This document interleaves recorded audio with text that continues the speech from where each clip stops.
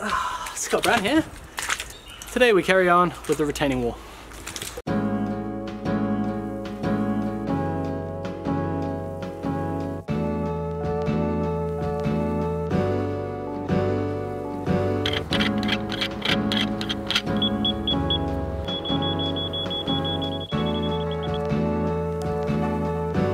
All right, let's knock some bracing off.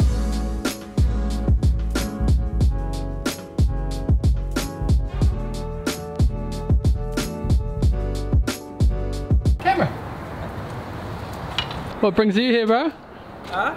What brings you here? Uh, Pato needs uh, the router router table, man. Huh?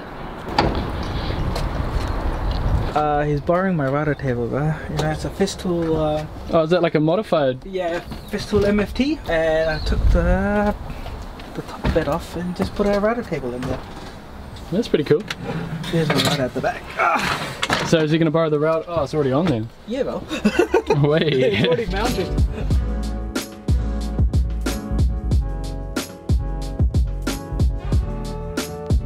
Calm. Thanks for letting me borrow your hammer. I send a bill. It's in the bill. Alright. Cameron is uh, hoping to give Pato that router table. Pa Pato's not here this morning though. He needs that for his uh, for his shed. He's still building that shed. He's routering up all the tongue and groove. Anyway, I borrowed his hammer because the Vaughan hammer isn't very good at pulling out nails.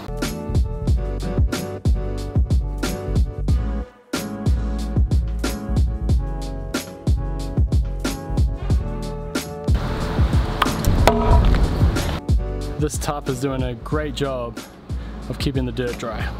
Great job. Great job.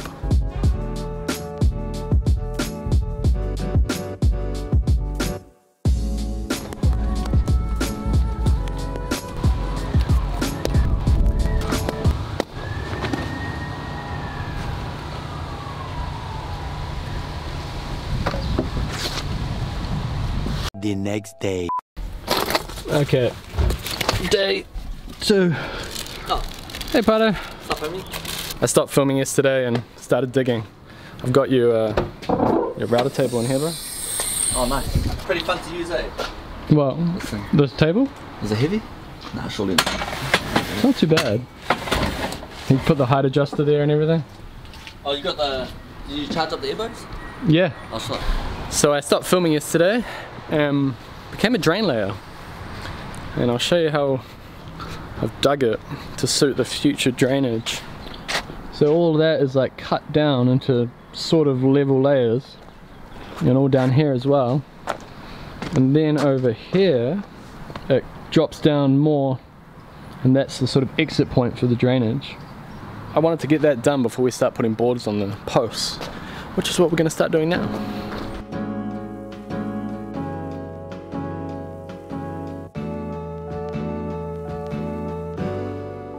It was good for demoing, but way too heavy.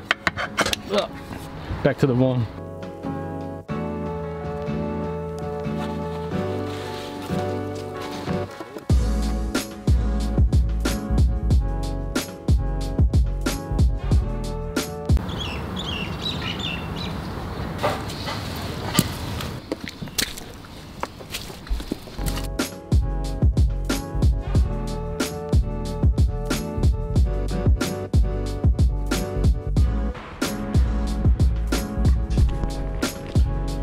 Here's the rain.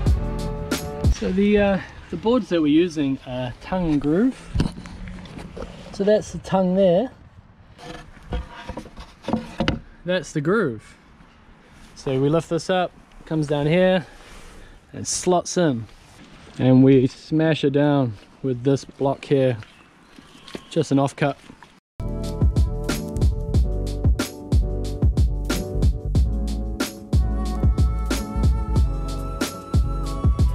And then we uh, put the ruler down there on the flat part. And we measure up to our mark here, which represents the top of the wall. And we got 837. And you got the same, eh? Wow. Perfectly level. Pato's just happy to be working with me again. So excited.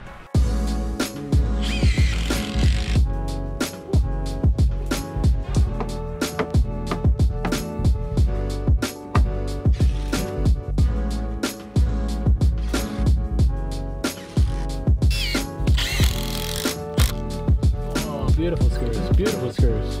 So we're screwing the borders in now. We started from the lowest point down here and uh, we leveled it, stepping up to suit the ground. So from this side it looks like that.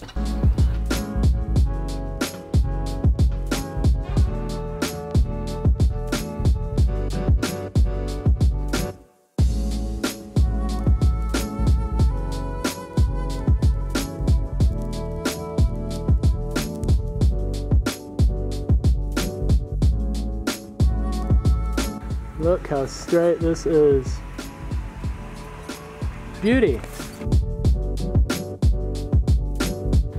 Convenient. Oh my gosh. Can you believe it? So this is the top one. And uh, obviously we don't want the tongue in the top. So we have to rip it off. Alright, so we've made this little sample piece here before we rip the full length. Other way around, Scott. That is the height.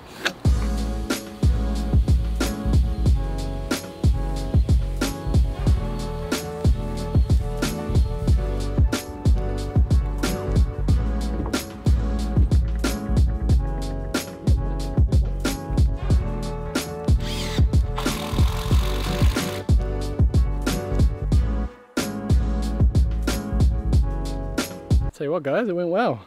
The wall is very straight, very straight. Very satisfied with how straight the wall is. And we've got to the top of this wall. So uh, one more wall to go.